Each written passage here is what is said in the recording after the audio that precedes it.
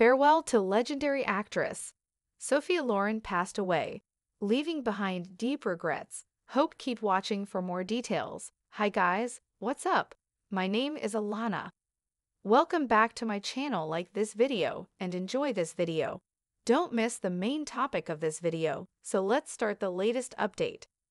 The renowned Italian actress Sophia Loren has graced the silver screen for decades, winning over audiences everywhere with her extraordinary talent and talentless beauty. Sophia Loren, who was born Sophia Scialone on September 20, 1934, in Rome, Italy, had a difficult upbringing as an illegitimate child in a culture where such circumstances were frequently viewed as scandalous and sinful. She was teased and humiliated from a young age. Her road to fame was fraught with difficulties, and the poverty specter hung over her formative years. Loren's family struggled to make ends meet, frequently surviving on meager rations of bread, and hunger was a constant theme in her childhood. Her thin build earned her the cruel moniker Sophia Cadent, which translates to toothpick. Her family shared a cramped apartment with eight other relatives. Life was difficult, and World War II made matters worse. Young Sophia would frequently hide from passing aircraft. In contrast to her mother's unmet goals, Loren recalled the recurring theme of hunger in her childhood and said it would take an entire book to express the depths of their hardship. Hope Rilda, who is frequently compared to the well known actress Brigitte Bardot, got her start from Lauren Bay. Villani once said, All I dreamed of for myself has occurred to Sophia. I live in her image. She should direct her aspirations toward her daughter, cultivating her abilities and assisting her in her pursuits of a better life. This poignant statement captures the hopes and sacrifices of a mother who, in spite of all odds, was determined to see her kid grow into a seed. Sophia Loren's journey to becoming famous began when she was just 14 years old. Despite her family's financial struggles, which made purchasing fancy dress nearly impossible, Sophia entered a beauty contest. In a stroke of creativity, her grandmother made her gown from pink curtains, and Loren Sunny's presence mesmerized the judges. When young actress, this moment's Marty crossed paths with director Carlo Ponti, who was at least 19 years older and a married father at the time of their first encounter, they were immediately attracted to one another. Despite the difficulties they encountered, their love developed quickly. Carlo Ponti, sensing the vacuum created by Loren's absentee father Riccardo Scialone, who had left the family, became not only her lover, but also a father figure and career manager after seeing Sophia Loren had a special gift and charisma that exceeded her age. Considering her father's relationship, Loren Poli said, I've never had a relationship with my father. I wish he had been a different parent and friend to my mother, but he was who he was. Even though Sophia Loren and Carlo Ponti had a strong love for one another, their relationship faced many obstacles, not the least of which was Lanie's rejection. Due to her friendship with a married man, Loren's mother believed that her daughter was taking a similar route to her own, one that was marked by shame. Nonetheless, Loren Ponti's love persisted, defying social norms and conventions.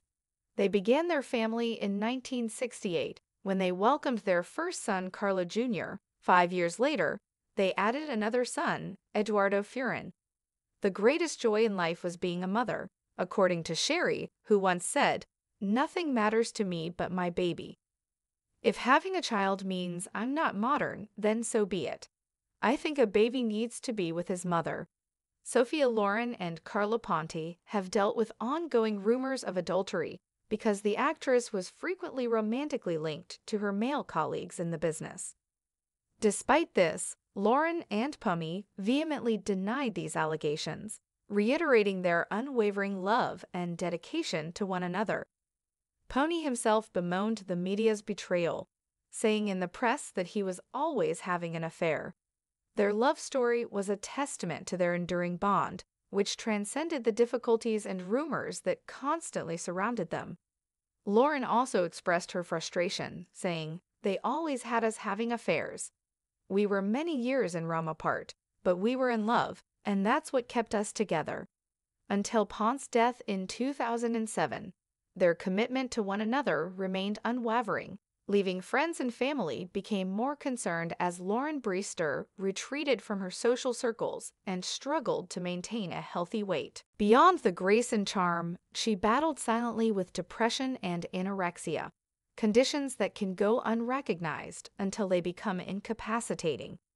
As her illness deteriorated, her once bright grin had vanished and been replaced by a menacing sorrow.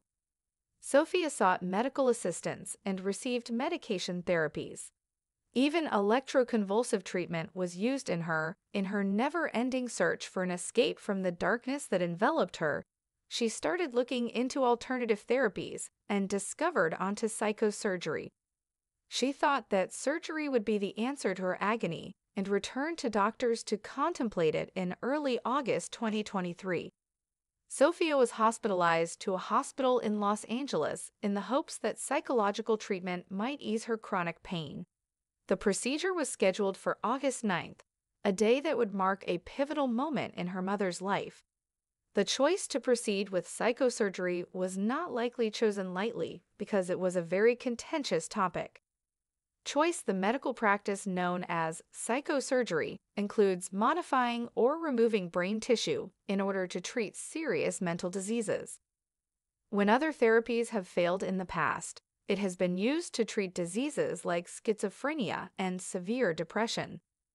The lobotomy, one of the most popular types of psychosurgery, is notorious for its extreme and frequently harmful results. However, Sophia's surgery was not a lobotomy as was initially believed.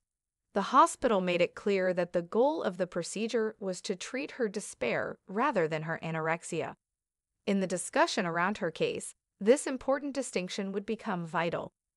As is frequently the case with medical operations of this sort, Sophia's psychosurgery's specifics are kept a secret. Psychosurgery can use a variety of techniques, including cingulotomy, otomy, or deep brain stimulation. Following surgery, each pro targets various regions of the brain related to mental health issues. The initial signs seemed encouraging, giving those who had watched Sophia suffer for years hope. However, the optimism surrounding Sophia's recovery was fleeting. After a week of recovery, friends and family reported that she was in a more content state and was on the phone happy and chatting in contrast to the withdrawn and tormented individual they had known for so long. Three weeks following the procedure, she developed pneumonia. A serious respiratory infection could weaken someone. Despite medical measures, her weight fell alarmingly to 35 kilograms, about 77 pounds, due to her condition and the pneumonia. Sophia's condition tragically worsened, and on September 11, 2023, she passed away from bronchiopneumonia. Thank you